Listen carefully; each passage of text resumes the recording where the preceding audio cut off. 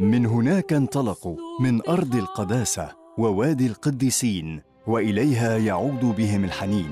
إنها حكاية العشق المتبادل بين الأرض وأبنائها المنتشرين في أصقاع الدنيا. من أجلهم ومن أجلها ولدت المؤسسة المارونية للانتشار.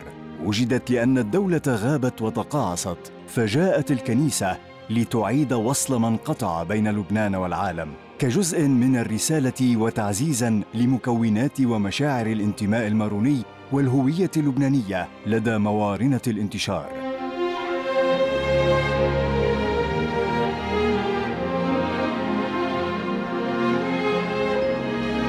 كيركي هي المشرفة ومركز المؤسسة، لكن وراء حلم المؤسسة كبارا في لبنان كان همهم استعادة هذه الثروة الوطنية خارج حدود لبنان. بدي حيي الوزير ميشيل إدي والبطيارك الكاردينال مار نصر الله بطرس اللي طلعوا بهذه الفكرة. هل الغاية منها آه، إنه يقدروا يساعدوا اللبنانيين المنتشرين يسجلوا نفوسهم وقعت نفوسهم بالأحوال الشخصية في لبنان ويحافظوا على آه، ملك على جنسيتهم ويحافظوا على ملكيتهم حتى بالحقيقة يضم لبنان المقيم والمنتشر. يبقى مترابط. عملت أنا النظام صاد عليه رابطة البطرك وأسست المؤسسة المرمية للانتشار. انطلقت تدريجيا تحديدا من سنة 2008 بلشت المؤسسة بنهار آه لإلي مش سعيد أبدا بالأول كان. هو آه دفن بيي. بهذا الدفن آه بتفاجأ بالوزير إدي يلي بيقول لي أنا بدي أشوفك بعد الدفن ضروري. على هالأساس صار في لقاء أنا وياه وأنا بعدني بجو حزن. قال لي نعمت أنا والوالد بياك بلشنا مشروع بلشنا نفكر بمشروع وخبرني المشروع. عندها هدف استرجاع اللبنانيين يلي ببلاد الاغتراب آه، على لبنان. وهيدا شغلة مهمة كتير وهيدا كان حلم أنطوان شويري من البداية. لنقدر نربط اللبنان المنتشر أو نخلص قد ما بنقدر من اللبنان المنتشر نرجع نعلقه بلبنان الأم ببلده الأم لبنان. دور المؤسسة هو شغلتين. واحد تربطهم أو ترسخ لهم علاقتهم بلبنان وهي أهم شيء تشجعهم على أنه يسجلوا. هؤلاء الكبار جمعتهم أهداف نبيلة بدءا من هم ترسيخ ارتباط المنتشرين بالجذور اللبنانية والمارونية وتفعيل مشاركتهم السياسية والثقافية والاقتصادية مرورا بمساعدتهم على تسهيل تعاملهم مع الإدارات اللبنانية وحملهم على تسجيل زيجاتهم وولاداتهم في سجلات النفوس وصولا إلى تمويل المشاريع في خدمة ذلك.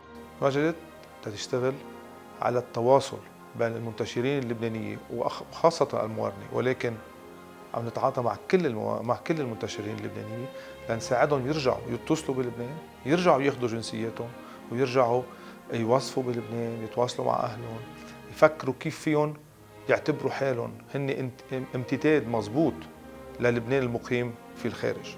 عم نجرب إنه نقول لهم تعالوا اعملوا استثمار ببلادكم تعالوا اعملوا آه، آه، عدو جربوا هالبلد هالبلد حلو وكل شيء ومشان هيك عملنا الأكاديمية بالأكاديمية عم بيجوا هالشباب نحن المستقبل للشباب مش للكبار.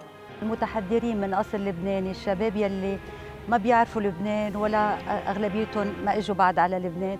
تقدر آه، بواسطة برامج الأكاديمية المارونية تستقطب انتباههم وتربي عندهم شعور الانتماء للبنان.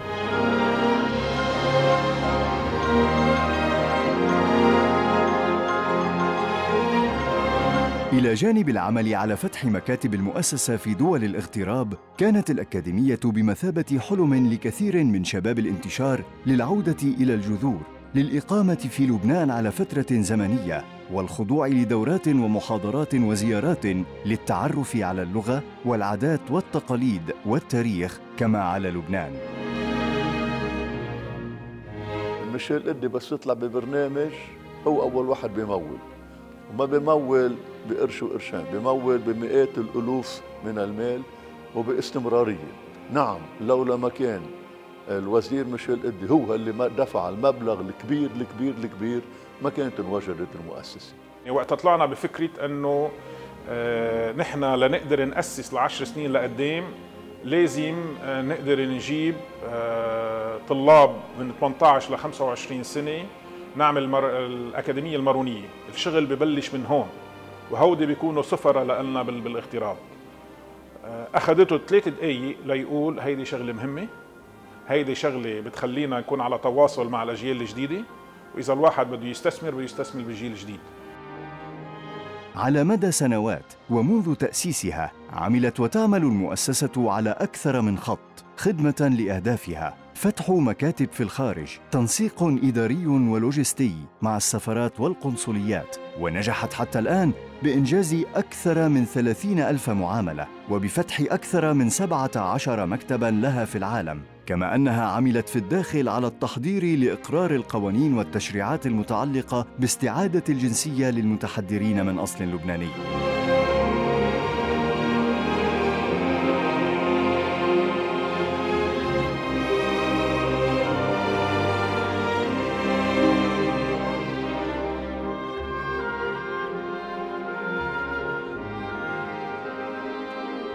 عملت خطوات لا بأس فيها لكن المشكلة اللي عم بتلاقيها إنه اللبنانيين هم مرات بيلاقوا إنه لشو وما في لزوم وليه بس لكن لولاها كنا نحن تحت الصفر. بس هلا لا عملت خطوات كبيرة نشكر الله وكل مرة بالتعاون مع مطارنتنا وكهنتنا ورعايانا وبعثات الدبلوماسيه عم بيعملوا خطوات لقدام.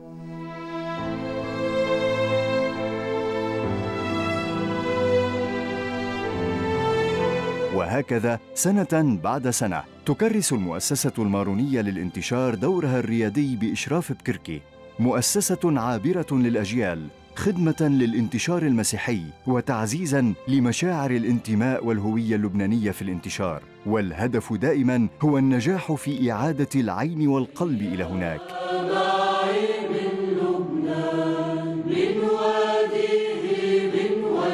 إلى قيم الجذور إلى قيم أرض القداسة إلى وادي القديسين إلى لبنان.